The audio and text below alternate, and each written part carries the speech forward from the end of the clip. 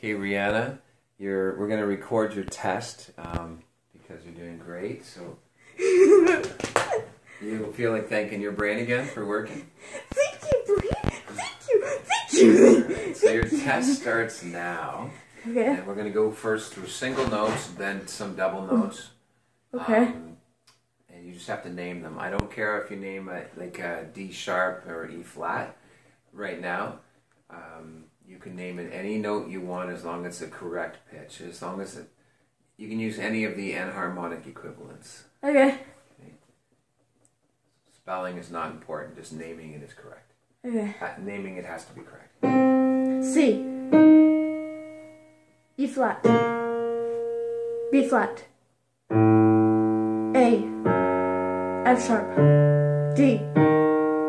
E flat. E. F. G sharp. E flat. F. C. D.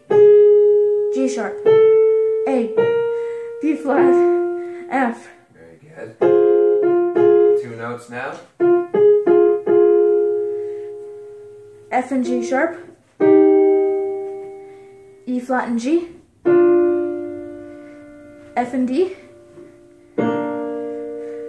D and B flat,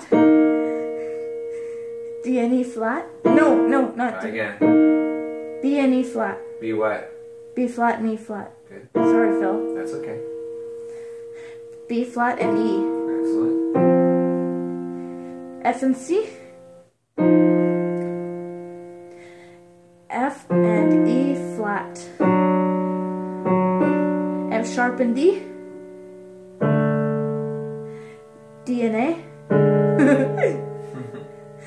and G sharp, D and G, D and F sharp, D and A, D and G sharp, D and G, D and F sharp.